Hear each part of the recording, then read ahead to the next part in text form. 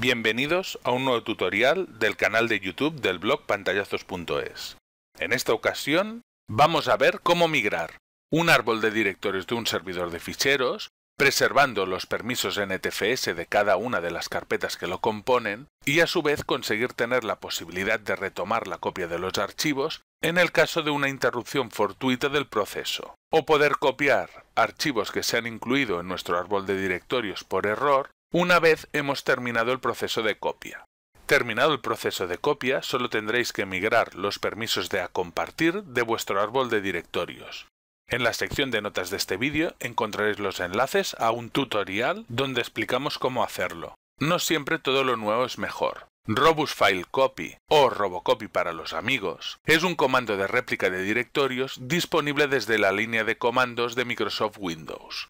En un inicio, Robocopy formaba parte del kit de recursos de Windows y se presentó como característica estándar a partir de los sistemas operativos Windows Vista, Windows 7 o Windows Server 2008. Robocopy es un comando que supera de mucho las funcionalidades de copy o xcopy.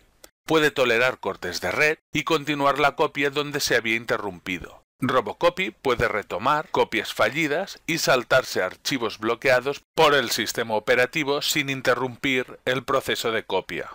Además puede copiar correctamente atributos, información del propietario, información de auditoría, fechas por defecto, también puede copiar la lista de control de acceso de NTFS. Como siempre, encontraréis en la sección de notas de este vídeo un enlace al artículo de nuestro blog con información adicional para que sirva de complemento a este tutorial. Si al finalizar el tutorial os parece interesante la información descrita en él, no lo dudéis, darle al like y suscribiros al canal. En nuestro entorno de laboratorio, comprobaremos que el origen de la copia contiene un árbol de carpetas y archivos que simula un servidor de ficheros. En la ubicación destino de la copia encontraremos que también hay ficheros y carpetas que en nuestro laboratorio queremos desechar. Cada uno de los directorios que componen el árbol de ficheros origen tiene asignados unos permisos de seguridad específicos y necesariamente los tenemos que copiar al árbol de directorios destino.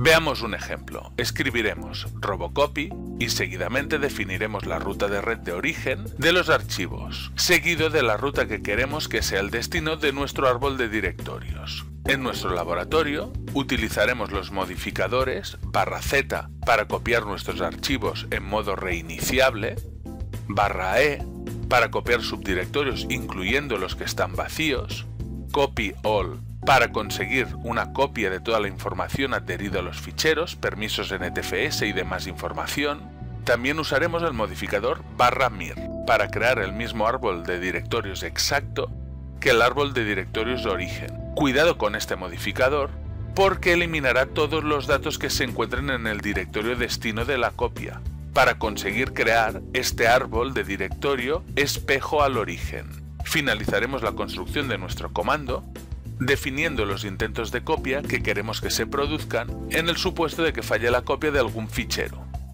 Usaremos los modificadores barra R2.2 para establecer el número de reintentos. En nuestro ejemplo se producirán dos reintentos por cada archivo que falle en el momento de la copia. Y con el modificador barra W2.2 estableceremos el tiempo de espera que queremos entre cada reintento. En nuestro laboratorio estableceremos dos segundos de espera entre cada nuevo intento de copia del archivo. Por último, vamos a definir la ubicación del archivo de log de nuestra operación. Usaremos el modificador barra log dos puntos seguido de la ruta y el nombre del fichero de texto en el que se creará el log. Durante el proceso de copia, los archivos y carpetas que se encuentran en el directorio destino serán eliminados. Recordemos que el modificador barra mir eliminará todos los datos que se encuentren en el directorio destino de la copia.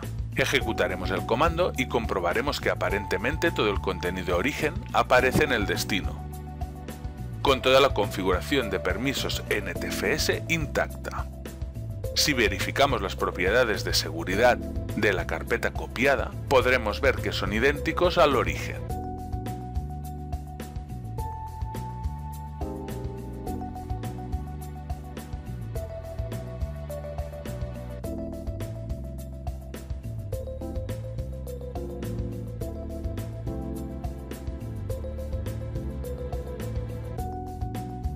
Seguidamente, podemos ver la información que nos devuelve la ejecución del comando en el interior del archivo de log. Comprobaremos que Robocopy ha generado un archivo llamado log.txt, seleccionaremos el archivo y lo abriremos para ver el contenido.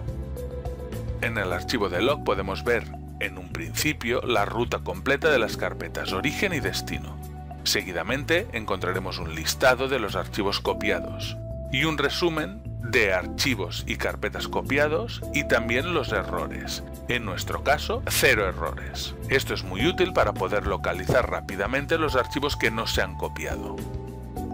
Una vez revisados los errores de copia, podemos darnos cuenta que algunos de ellos son debidos a que los archivos estaban abiertos.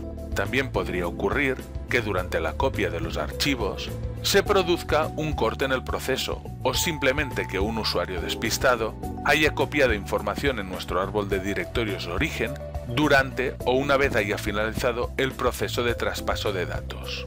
Gracias al modificador barra Z que hemos incorporado en nuestra construcción, Robocopy detectará estas diferencias y en una segunda ejecución del comando iniciará la copia saltando toda la información que ya tenemos correctamente copiada en el directorio destino. Si volvemos a ejecutar el comando desde la misma consola de símbolo del sistema que estábamos usando, comprobaremos que en esta segunda ejecución el comando solo ha copiado los archivos añadidos deliberadamente por nosotros después de la finalización del primer proceso de copia. Una vez tengamos todos los archivos copiados con sus permisos NTFS en el directorio destino, hemos de recordar que también tenemos que traspasar toda la información de seguridad de a compartir. En la sección de notas de este vídeo encontraréis los enlaces al tutorial donde detallamos el procedimiento. Y aquí termina el tutorial de hoy. Si os ha gustado la información descrita en él, no lo dudéis, darle al like y suscribiros al canal. ¡Hasta la próxima!